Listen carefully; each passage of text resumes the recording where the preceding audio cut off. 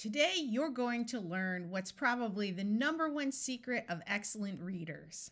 So, what is the number one secret of excellent readers? It's first looking for the root and then finding the prefixes before the root and the suffixes after. So, here we have the root able with a long A sound. Now we've added a prefix. So, we have unable, disable, disabled, disabling, enabling. Notice that when we add a suffix that starts with a vowel, this E gets dropped. Here we have the root no with a silent K and OW having the O sound. We can add the suffix and we have knowing, known, unknown, unknowingly. Here we have hospital. Notice that AL at the end of a word usually sounds more like ul rather than al.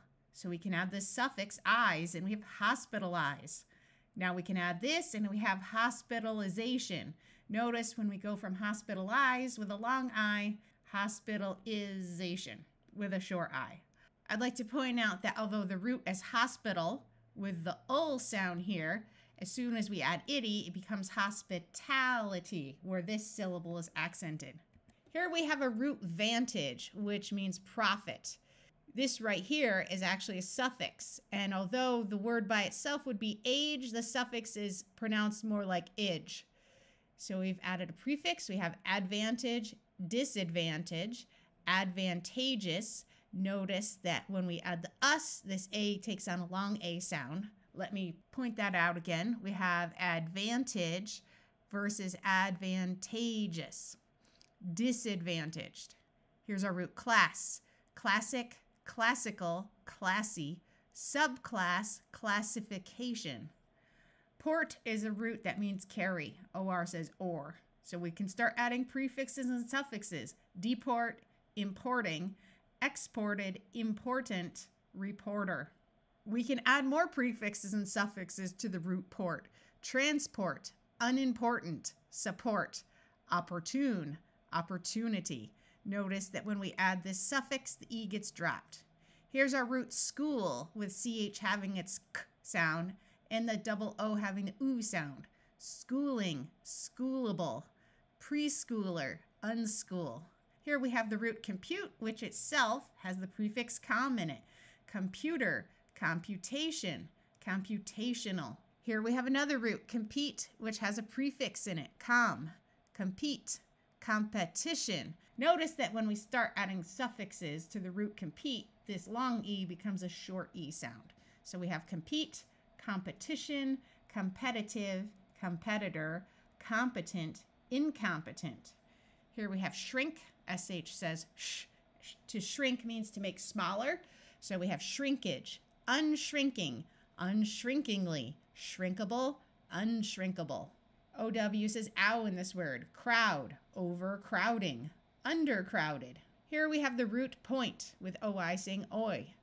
We can add the suffix and it becomes a point. Notice that A at the beginning of a word often schwas or takes on a short U sound.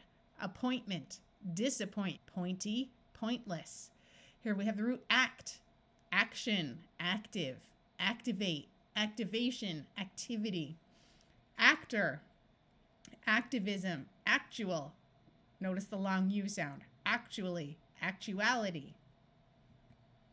Here's our root gram, diagram. Notice the A schwas. Program, programmer, programming. Telegram.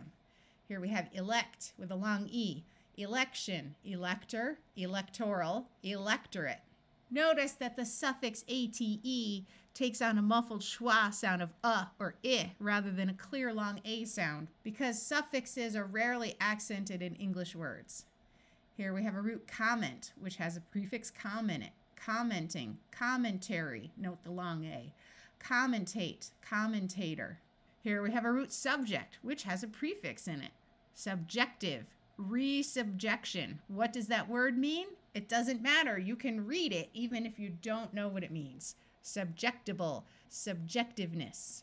Here we have the root face, interface, deface. Notice the C has its soft sound of S because it's followed by an E.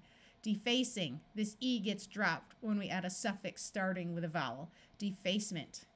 Here we have bark, embark, debark, debarked, disembarking, embarkation. All right, I want you to try these on your own. See if you can spot all the prefixes and suffixes in these words. Don't worry about if you don't know what they mean. Just see if you can read them. Here we go. Compunctionless, descriptionless, perspectiveless, non controllable, non reimbursable, semi respectable. Semi can also be pronounced semi, so it could be semi respectable. I want you to try these on your own and in the comments list how many prefixes and suffixes you can find in these six words. These three and the next three. So in the comments, put the number and which prefixes and suffixes you found in the video. If you found this useful, please be sure to share it with friends who have kids who are learning to read.